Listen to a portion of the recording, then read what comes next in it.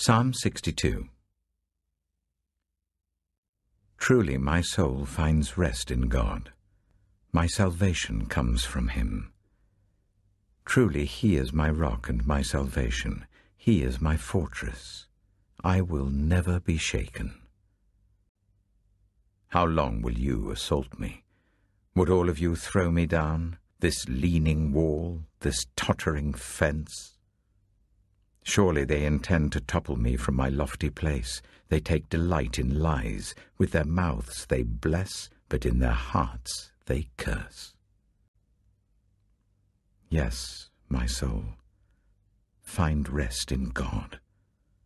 My hope comes from Him. Truly, He is my rock and my salvation. He is my fortress. I will not be shaken. My salvation and my honor depend on God. He is my mighty rock, my refuge. Trust in him at all times, you people. Pour out your hearts to him, for God is our refuge. Surely the low-born are but a breath, the high-born are but a lie. If weighed on a balance, they are nothing. Together they are only a breath. Do not trust in extortion, or put vain hope in stolen goods. Though your riches increase, do not set your heart on them. One thing God has spoken, two things I have heard. Power belongs to you, God, and with you, Lord, is unfailing love.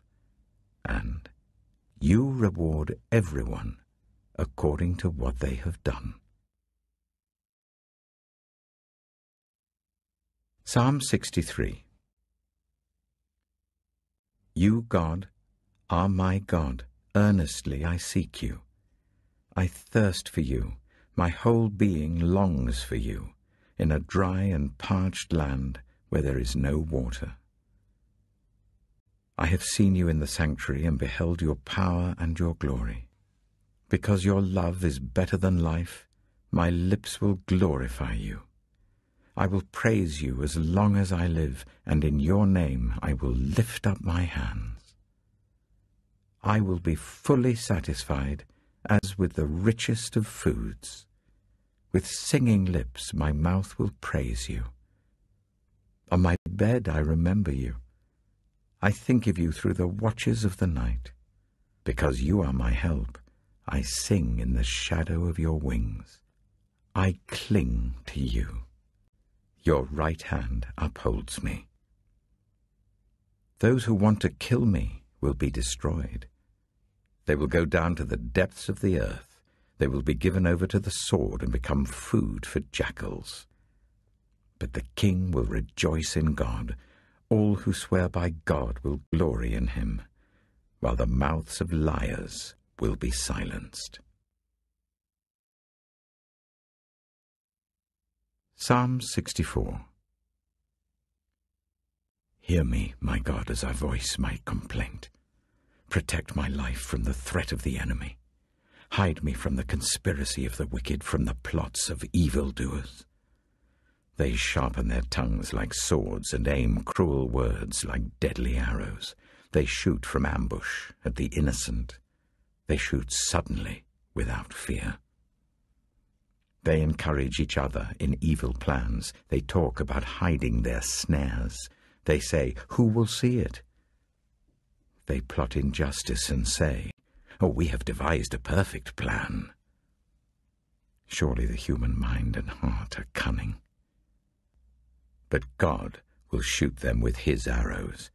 They will suddenly be struck down. He will turn their own tongues against them and bring them to ruin. All who see them will shake their heads in scorn. All people will fear. They will proclaim the works of God and ponder what he has done.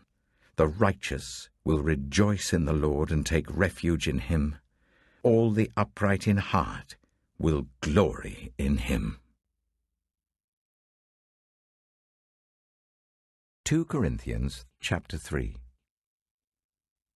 are we beginning to commend ourselves again? Or do we need, like some people, letters of recommendation to you or from you? You yourselves are our letter, written on our hearts, known and read by everyone. You show that you are a letter from Christ, the result of our ministry, written not with ink, but with the Spirit of the living God, not on tablets of stone, but on tablets of human hearts.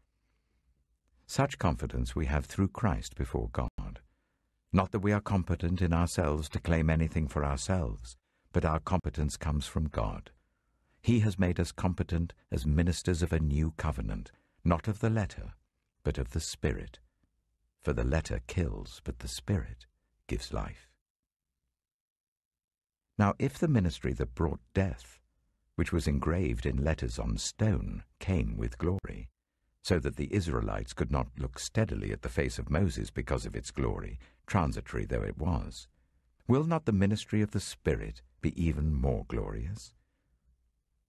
If the ministry that brought condemnation was glorious, how much more glorious is the ministry that brings righteousness? For what was glorious has no glory now in comparison with the surpassing glory. And if what was transitory came with glory, how much greater is the glory of that which lasts. Therefore, since we have such a hope, we are very bold. We are not like Moses, who would put a veil over his face to prevent the Israelites from seeing the end of what was passing away. But their minds were made dull, for to this day the same veil remains when the Old Covenant is read. It has not been removed, because only in Christ is it taken away. Even to this day, when Moses is read, a veil covers their hearts. But whenever anyone turns to the Lord, the veil is taken away. Now the Lord is the Spirit, and where the Spirit of the Lord is, there is freedom. And we all, who with unveiled faces contemplate the Lord's glory, are being transformed into his image with ever increasing glory, which comes from the Lord, who is the Spirit. Proverbs chapter 27 Do not boast about tomorrow, for you do not know what a day may bring. Let someone else praise you, and not your own mouth, an outsider, and not your own lips. Stone is heavy and sand a burden, but a fool's provocation is heavier than both. Anger is cruel and fury overwhelming, but who can stand before jealousy? Better is open rebuke than hidden love. Wounds from a friend can be trusted, but an enemy multiplies kisses. One who is full loathes honey from the comb, but to the hungry even what is bitter tastes sweet. Like a bird that flees its nest is anyone who flees from home. Perfume and incense bring joy to the heart, and the pleasantness of a friend springs from their heartfelt advice.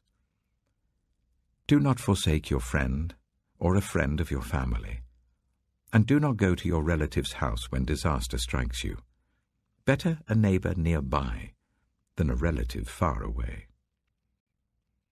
Be wise, my son, and bring joy to my heart. Then I can answer anyone who treats me with contempt. The prudent see danger and take refuge, but the simple keep going and pay the penalty. Take the garment of one who puts up security for a stranger. Hold it in pledge if it is done for an outsider. If anyone loudly blesses their neighbor early in the morning, it will be taken as a curse. A quarrelsome wife is like the dripping of a leaky roof in a rainstorm. Restraining her is like restraining the wind or grasping oil with the hand. As iron sharpens iron, so one person sharpens another. The one who guards a fig tree will eat its fruit, and whoever protects their master will be honored. As water reflects the face, so one's life reflects the heart. Death and destruction are never satisfied, and neither are human eyes. The crucible for silver and the furnace for gold but people are tested by their praise. Though you grind a fool in a mortar, grinding them like grain with a pestle, you will not remove their folly from them. Be sure you know the condition of your flocks. Give careful attention to your herds. For riches do not endure forever, and a crown is not secure for all generations. When the hay is removed and new growth appears, and the grass from the hills is gathered in, the lambs will provide you with clothing, and the goats with the price of a field.